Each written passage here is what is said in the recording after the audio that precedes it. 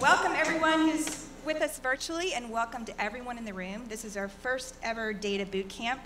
So this is an experiment, and at NASA, that's what we do, research and development. You are part of our research and development. You're our, our experimentees. So we're really thrilled to have you, and we are so thankful for the New York team for pulling this together, and, and Civic Hall for allowing us to have uh, this really wonderful space. And I'm going to let some others thank the rest of our team, but I do want to call it real quickly Elizabeth.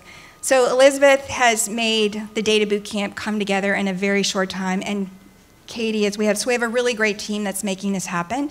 Uh, but first, I want to bring to the stage Deborah Diaz, who's the Chief Technology Officer for IT at NASA, and Cady Coleman, astronaut Cady Coleman, who has flown six million miles, I think, in space. So they're going to welcome you all.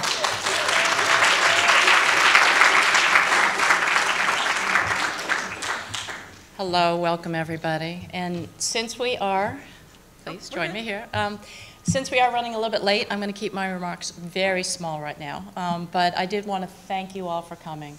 Um, we have been very excited about having women in data, attracting more women, letting you know about some of the opportunities. We want your creativity. We want all of your fresh ideas.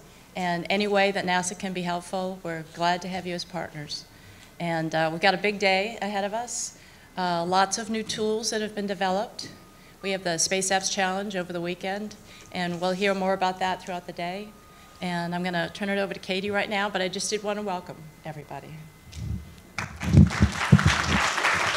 Just stay here. You have, to, you have to stay up here, David. So, I mean, she looks like a normal person, doesn't she?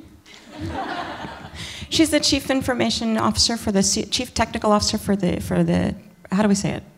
Chief technology officer for IT. For NASA. For NASA. She was the Chief Information Officer for Homeland Security. She created the first government portal where the government was putting information in a place that everybody could get to it. She looks like a regular person. She looks like you, and she looks like me. And that's really what we're all about here, is that I think that there's a lot of messages that all of us get from everywhere that send us little messages about whether we're included or not.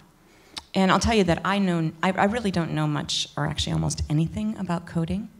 And when I heard I was going to go to the hackathon and be part of the Space Apps Challenge, I, I, was a little apprehensive. Like, you know, that's not something I really know about. They're all going to be working using skills that I actually have none of.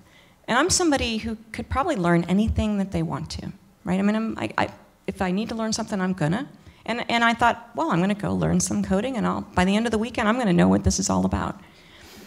But I have to say that I don't think that a lot of my fellow guy astronauts would have felt that way. I think that they would have said, hackathon, I'm in. I mean, because, you know, they, they know, I mean, they can send email. They, they know computers, right?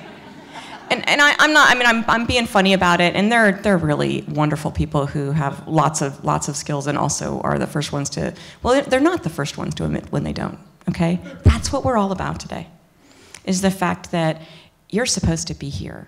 Your friends are supposed to be here. You're included because we have big, big problems that we're very passionate about at, at NASA. We have big challenges because we have big goals. We want to explore the universe, we want to take care of our planet, and it is all about data. And the data is not going to sort itself out. And to really make those solutions happen takes more than one point of view and I'll just get, we're gonna, we're gonna be all together, all of us, all day long. Uh, I'll just give you something to think about that I would like to hear at the end how you, what, what, what you think. But that is that some of you came here knowing each other, and some of you don't. But no matter what, you've made, formed some opinions about the people maybe at the table that you're at, and at the tables you chose not to be at. And I'll tell you, take some time to get to know people who you think you might get along with, and some that you think, you know, they're probably pretty different than me, and probably that's not going to be a relationship I'm going to have. People, let people surprise you. All of you are so interesting and so wonderful, and you are the future.